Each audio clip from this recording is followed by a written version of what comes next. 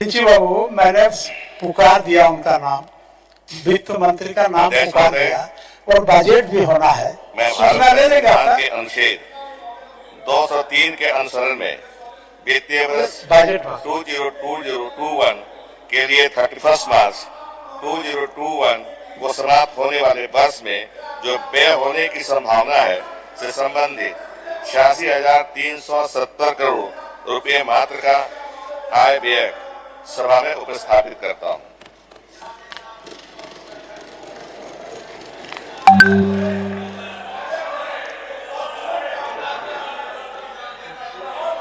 अध्यक्ष महोदय, आपकी अनुमति से मैं वित्तीय वर्ष 2020-21 की आय व्यय की विवरणी इस गर्मा में सदन के पटल पर रखने हेतु खड़ा हुआ हूँ। यह अवसर प्रदान करने के लिए मैं आपके प्रति सदन के प्रति तथा झारखंड की समस्त जनता के प्रति आभार व्यक्त करता हूँ। अध्यक्ष महोदय, मैं इस सदन के माध्यम से राज्य के उन सपूतों को प्रणाम करता हूँ जिन्होंने इस राज्य के निर्माण के लिए अपने को न केवल मिटा दिया, बल्कि अनवरत राज हित में जुटे रहे। ऐसे स्मरणीय हमारे क्रांतिकारी पुरखों में बिरसा मुंडा, सिद्धो कानू चाँद भैरव वीर बुधु भगत नीलाम्बर पीताम्बर तिरंगा खाड़िया जत्रा टाना भगत, पांडे गणपत राय, तिलका मांझी, शेख भिखारी को पुनः स्मरण करते हुए उन्हें अपनी श्रद्धांजलि अर्पित करता अध्यक्ष महोदय, मुझे गर्व है, झारखंड के उन वीर सपूतों पर जिन्होंने यहाँ पर जन्म लेकर न केवल इस धारा को धन्य किया, वरन देश की आज़ादी की रक्षा के लिए सरहदों पर दुश्मनों से लड़ते लड़ते अपना जीवन निछावर कर दिया। परमवीर अल्बर्ट एक्का के प्रति भी मैं सदा सुमन अर्पित करता हूँ। मेरा नमन उन सारे वीरों के प्रति भी है, जिन्होंने अल्बर्ट एक्का जैसे वीरों की विरासत को जीवंत रखते हुए, आज़ादी के मसाल को प्रज्वलित रखा और देश की रक्षा करते हुए सीमा पर शहीद हुए। आज तिरंगा फहराता है, अपनी पूरी शान से हमें मिली आज़ादी। वीर शहीदों के बलिदान से आज़ादी के लिए हमारी लंबी चली लड़ाई थी। लाखे लोगों ने प्राणों से कीमत बड़ी चुकाई थी। अध्यक्ष महोदय, झारखंड की जनता ने जिस उमंग और उत्साह से इस बार हमें सरकार बनाने का मौका दिया है। और आकांक्षा को मूर्त रूप देने के लिए माननीय मुख्यमंत्री श्री हेमंत सोरेन जी के नेतृत्व में हमारी सरकार अपनी पूरी क्षमता से राज्य के कल्याण के लिए कार्य करेगी। और मुझे पूरा विश्वास है कि आप सभी न केवल संतुष्ट होंगे, बल्कि विकास के नए क्षितिज का निर्माण भी देखेंगे। माननीय मुख्यमंत्री श्री हेमंत सोरेन जी के नेतृत्व की सरकार की दृष्टि में समाज का अंतिम व्यक्ति सरकार की सर्वोच्च प्राथमिकता में शामिल है। माननीय मुख्यमंत्री जी की दृष्टि के अनुरूप खनन के स्थान पर पर्यटन के रास्ते से सरकार राज्य के विकास में संभावनाओं को तलाशेगी।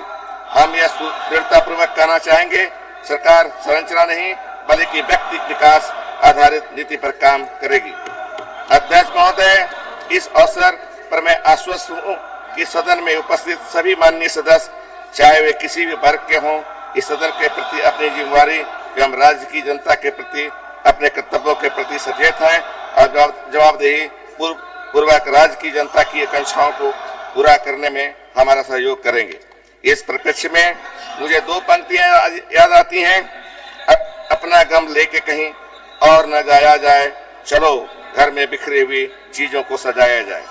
राज्य के विकास में समाज के अत्यंत जरूरतमंद लोगों तक मदद पहुँचाने के उद्देश्य से आगामी बरस का बजट इस आस के साथ प्रस्तुत करना चाहता हूँ कि राज्य के सभी नागरिकों तथा सुविधाएँ पहुंचाई जा सके।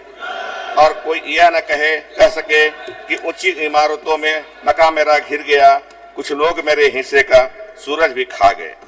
अध्यक्ष महोदय, वित्तीय वर्ष 2020-21 के लिए मैं सदन के समक्ष राज्य का सकल बजट छियासी हज़ार तीन सौ सत्तर करोड़ का अनुमान प्रस्तुत कर रहा हूँ, जिसमें राजस्व व्यय के लिए तिहत्तर हज़ार तीन सौ पंद्रह पॉइंट नाइन फोर करोड़ रुपए एवं पूंजीगत व्यय के लिए तेरह हज़ार ज़ीरो फाइव फोर 6.06 करोड़ रुपए का प्रस्ताव है। बजट में प्रधानित सकल राशि को यदि प्रक्षेत्र के दृष्टिकोण से देखा जाए तो सामान्य प्रक्षेत्र के लिए पच्चीस हज़ार सैतालीस पॉइंट फोर थ्री करोड़ रुपए, सामाजिक प्रक्षेत्र के लिए बत्तीस हज़ार एक सौ सड़सठ पॉइंट फाइव एट करोड़ रुपए तथा आर्थिक प्रक्षेत्र के लिए twenty nine thousand one fifty four point nine nine crore रुपए उपस्थापित किए गए हैं। बजट में प्रधानित राशि के लिए निधि की व्यवस्था पर मैं सदन का ध्यान आकृष्ट करना चाहूँगा।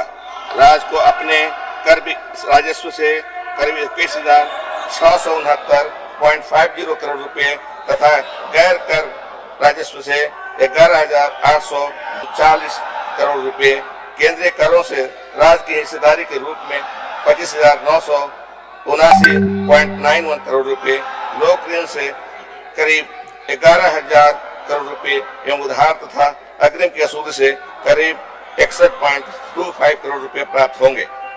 अध्यक्ष महोदय, अब मैं सदन को राज्य की आर्थिक स्थिति से अवगत कराना चाहूँगा। वित्तीय वर्ष 2014-15 में विकास दर बारह पॉइंट फाइव प्रतिशत थी तथा वित्तीय वर्ष पंद्रह सोलह दो हज़ार अठारह उन्नीस की अवधि में राज्य की औसत वार्षिक दर करीब 5.7 परसेंट रही। वर्तमान वर्ष में यह 7.2 परसेंट रहने का अनुमान है। प्रति व्यक्ति आय स्थिर मूल्य पर चालू वित्तीय वर्ष में पैंसठ हज़ार आठ सौ दो अनुमानित है, जो गत वर्ष बासठ हज़ार तीन सौ पैतालीस रुपये थी, जो 5.5 परसेंट की विकास दर पर प्रदर्शित करती है। वित्तीय वर्ष दो हज़ार बीस इक्कीस में स्थिर मूल्य पर जीएसडीपी विकास दर आठ प्रतिशत तक प्राप्त करने का लक्ष्य रखा गया है। वित्तीय वर्ष 2020-2021 में दस पॉइंट वन सेवन प्रतिशत की वृद्धि के साथ वर्तमान मूल्य पर प्रति व्यक्ति आय बयानवे हज़ार चौरानवे रुपये होने का आकलन है, जो वित्तीय वर्ष 2019-20 में तिरासी हज़ार पाँच सौ बानवे रुपये तथा अठारह उन्नीस में छिहत्तर हज़ार उन्नीस रुपये थी। आगामी वित्तीय वर्ष बीस इक्कीस में राजकोषीय घाटा आठ हज़ार दो सौ तैतालीस पॉइंट ज़ीरो फोर करोड़ रुपए होने का अनुमान है, जो कि आगामी वित्तीय वर्ष के अनुमानित जीएसडीपी का 2.5 प्रतिशत है। अध्यक्ष महोदय, सदन के सहयोग से राज्य के विकास रथ को आगे ले जाने के लिए मैं वित्तीय वर्ष 2020-2021 के बजट विभिन्न प्रक्षेत्रों में सरकार द्वारा तैयार किए गए महत्वपूर्ण प्रस्तावों की संक्षिप्त विवरणी प्रस्तुत करता हूँ। कृषि एवं संबद्ध क्षेत्र अध्यक्ष महोदय, हमारे राज्य की पचहत्तर प्रतिशत की आबादी कृषि एवं संबंधित प्रक्षेत्र पर निर्भर है। इस प्रक्षेत्र से जुड़े लोगों की बेहतरी के लिए राज्य सरकार की संकल्प है। ऋण के बोझ से दबे किसान, उनकी, जिनकी आय का एक बड़ा हिस्सा ऋण चुकाने में चला जाता है। के लिए राज्य सरकार ने अल्पकालीन कृषि ऋण राहत योजना शुरू करने का निर्णय लिया है। आगामी वित्तीय वर्ष में 2020-2021 में इससे राशि, इसमें राशि एवं किसानों को प्रोत्साहित करने के लिए माननीय मुख्यमंत्री जी, मुख्यमंत्री श्री हेमंत सोरेन जी के नेतृत्व में, नेतृत्व वाली हमारी सरकार के, ने धान उपार्जन के तहत धान उत्पादन एवं बाज़ार सुलभता नाम की एक नई योजना शुरू की करने का निर्णय लिया है। इस हेतु आगामी वित्तीय वर्ष बीस इक्कीस में कुल राशि दो दो, दो सौ करोड़ रुपए का बजट उत्पन्न किया गया है।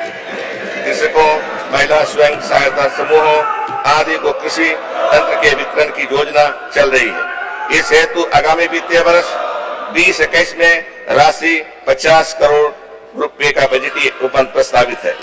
इस योजना में संचित जल का उपयोग सिंचाई कार्य में करने हेतु पंप सेट एच पाइप के साथ अन्य कृषि यंत्र उपलब्ध कराया जाएगा।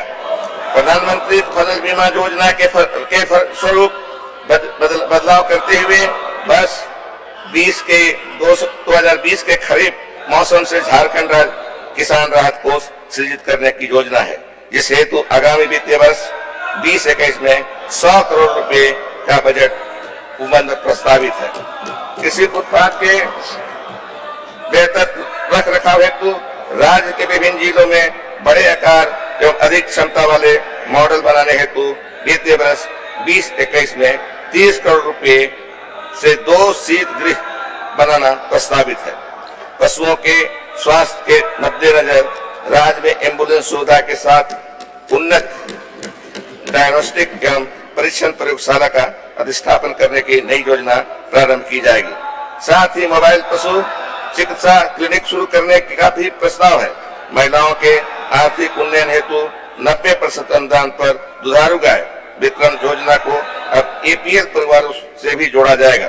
कामधेनु डेयरी फ़ार्मिंग योजना के तहत प्रगतिशील दुग्ध उत्पादक परिवारों को आर्थिक सहायता प्रदान करने की करने, अनुदानित दरों पर चारा काटने की मशीन एवं संतुलित पशु आहार उपलब्ध कराने की योजना है। मत्स्य पालन को बढ़ावा देने हेतु नई हैचरियों के निर्माण या मत्स्य पालकों को प्रशिक्षण दिए जाने का प्रस्ताव है। इस प्रक्षेत्र में इच्छुक लोगों को प्रशिक्षण के साथ साथ मत्स्य विपणन योजना के तहत stall, auto rickshaw, mobile retail, kiosk, अनुदानित दर पर उपलब्ध कराने की योजना है। बरस बीस इक्कीस में 2.35 लाख मीट्रिक टन मत्स्य उत्पादन का लक्ष्य रखा गया है। सिंचाई प्रक्षेत्र। अध्यक्ष महोदय देवघर जिला में उनासी जिला से योजना के मिट्टी बाँध का कार्य लगभग पूरा हो गया है। मुख्य